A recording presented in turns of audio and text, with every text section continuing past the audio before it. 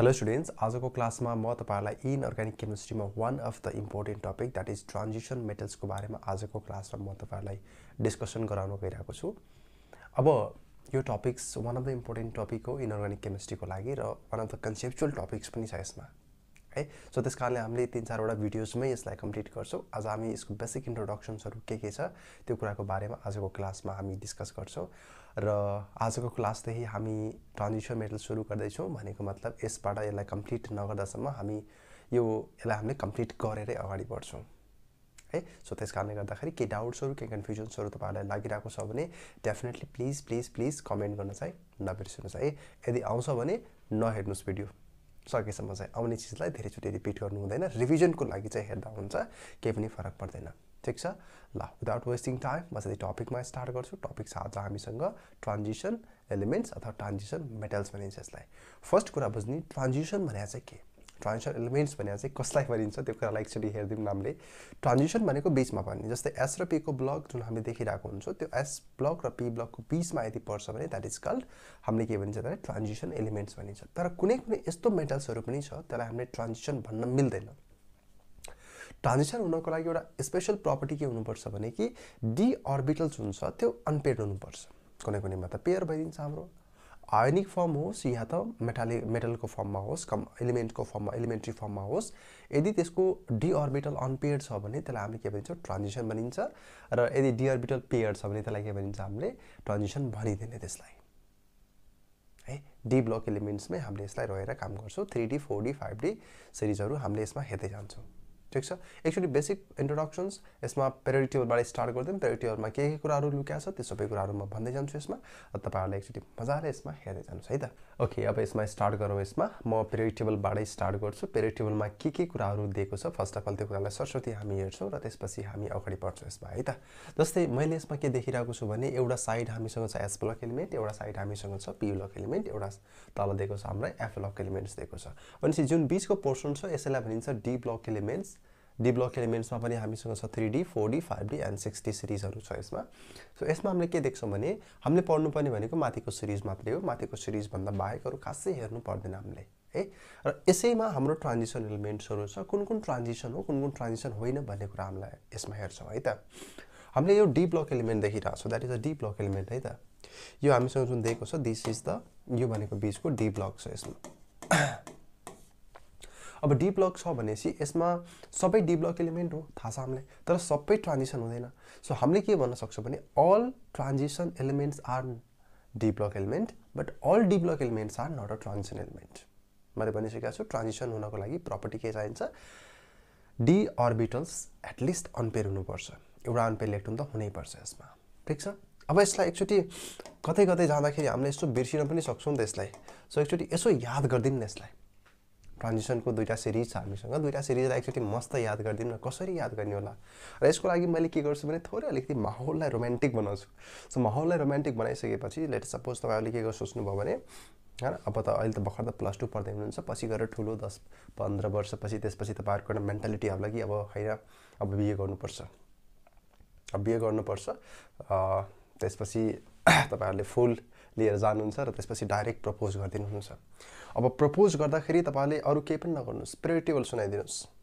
अगाडि जानुहोस् प्रेरिटेबल डाइरेक्ट हातमा लिनुहोस् त्यसपछि प्रेरिटेबल सुनाइदिनुहोस्। म तिमीलाई प्रेरिटेबल सुनाउन चाहन्छु भनेर थ्री डी सिरिजलाई भटटट भनिदिनुहोस् त्यसमा। अब यहाँ यसमा भन्दाखेरि कसरी भन्नुहोस् भने हेर्नुहोस् है यसलाई मैले हिन्दीमा भन्छु है त।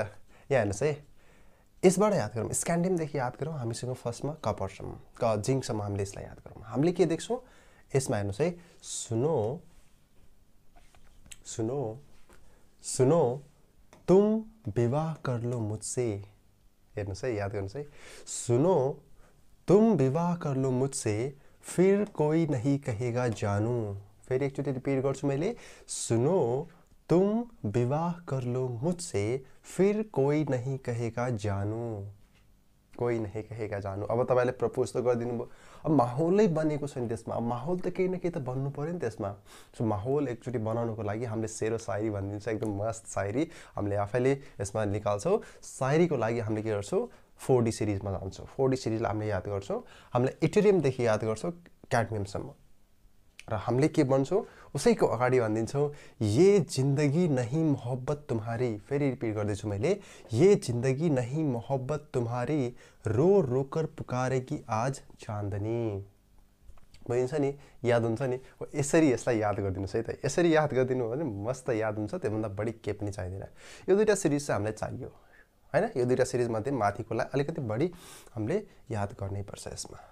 ल नेक्स्टमा हेर्नुहोस् त अब जस्तै मैले यसमा थोरै अलिकति पोर्सन्स दिएको छु यो बिचको पार्टलाई हामीले के भनिन्छ लोकेट द ट्रान्जिसन मेटल्स भनेको छ यसमा। जिङ्क क्याडमियम मर्कटलाई खासै हामीले राखिँदैन यसमा अहिले म भन्छु यसमा। र यिनीहरूको कन्फिगुरेसन अहिले वान बाई वान डिस्कस गरौँला यसमा पनि र एक्चुली सर डेफिनेसन्स मात्र मैले भन्नु त भनिसकेको छु सबै कुराहरू। हामीसँग डी ब्लक एलिमेन्ट्स भनेको कसैलाई भनिन्छ भने डी अर्बिटल्समा इलेक्ट्रोन्सको फुलफिल भइरहेछ फिलिङ्स भइरहेछ। डी अर्बिटल्समा इलेक्ट्रोन्सहरू त्यहाँ फिल हुँदै गइरहेछ भनेको एउटा हुन्छ भ्यालेन्स सेल एउटा हुन्छ हामीसँग क्युन सेल एउटा हुन्छ हामीसँग पेनोल्टिमेट सेल एउटा हुन्छ anti penultimate shell D orbitals anti penalty सेलमा बसिरहेको हुन्छ। Anti penalty shell of D अर्बिटल्समा इलेक्ट्रोन्सहरू प्रोग्रेसिभली फिल हुँदै हुँदै हुँदै हुँदै गइरहेको हुन्छ।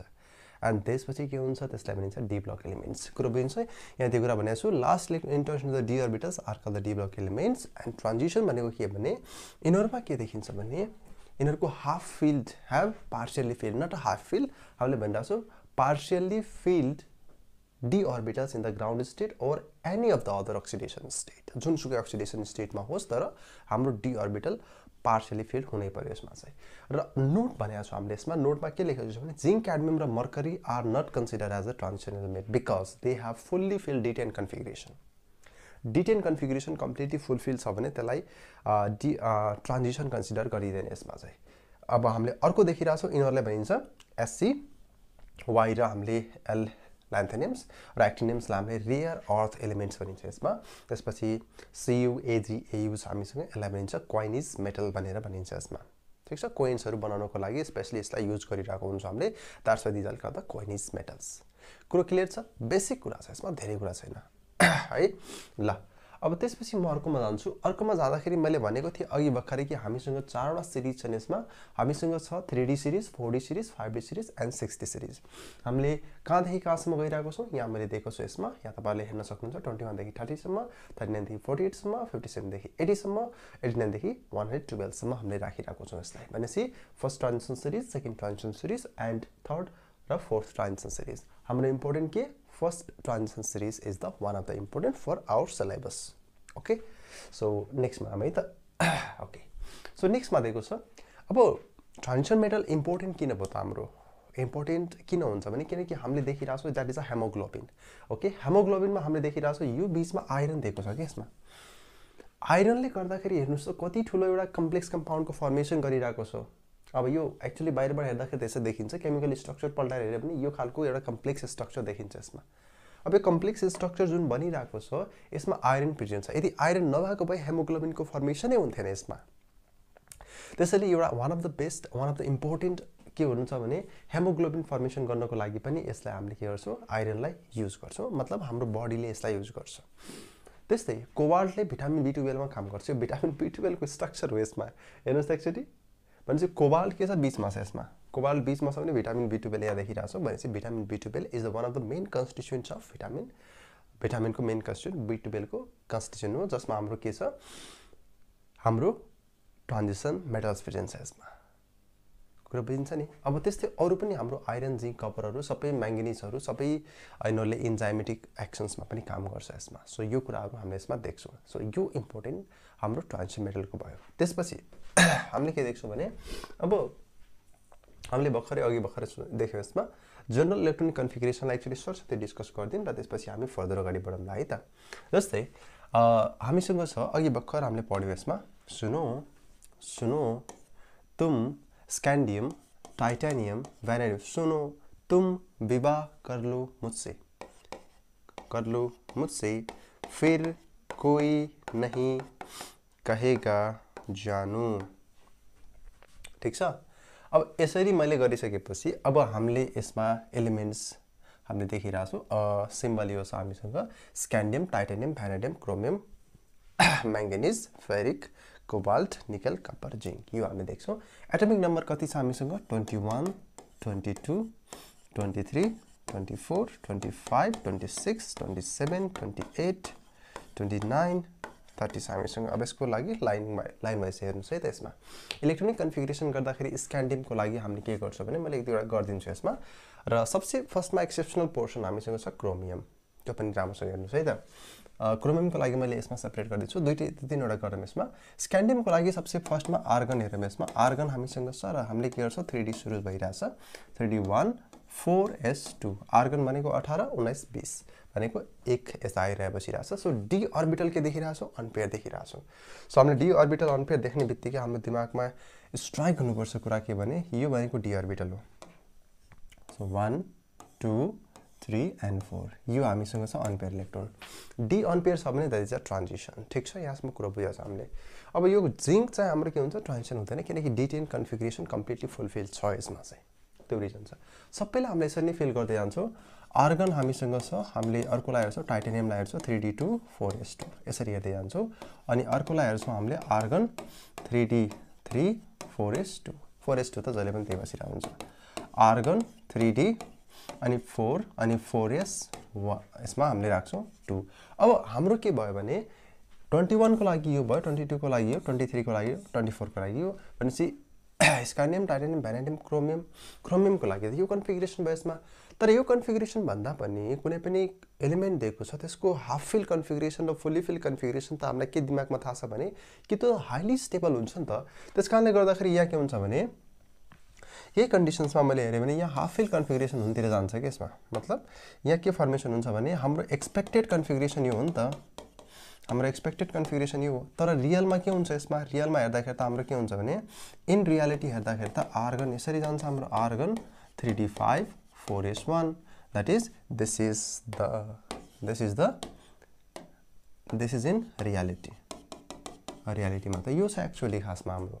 हो त्यो रिजनले गर्दाखेरि हामीले यसमा के देख्छौँ भने यो जुन क्रोमियमको कन्फिग्रेसन छ यो यसरी चेन्ज हुन्छ। सिमिलरली कपरको कन्फिग्रेसन पनि त्यस्तै छ हाम्रो। है कपरमा पनि त्यही गर्छौँ। सो त्यही कुरालाई मैले यसमा साइडमा ल्याइदिन्छु। हेरौँ त। हामीसँग छ क्रोमियम कपरको एक्सपेस एक्सेप्सनल कन्फिग्रेसन हुन्छ। रिजन के भने किनकि यसमा हाम्रो हाफ फिल कन्फिग्रेसन हुन्छ। किनकि हाफ फिल कन्फिग्रेसनमा जाँदाखेरि यो कम्प इलिमेन्ट के हुन्छ भने स्टेबल हुन्छ र आफू स्टेबलाइज हुन्छ। हरेक चिज दुनियाँमा जे पनि देखिरहेछ हामीले त्यो सबै चिज स्टेबलाइजेसन हुनतिर गइरहेछ यहाँ पनि इलिमेन्ट्सहरू छ स्टेबल हुन खोजिरहेछ त्यस कारणले क्रोमियमको लागि मैले के लेखेँ four s three d four four s two that is expected configuration expectation versus reality भन्छौँ नि हामीले यहाँ हामीले देखिरहेछौँ एक्सपेक्टेसन एन्ड रियालिटी एक्चुअलमा यो आइरहेछ हाम्रो।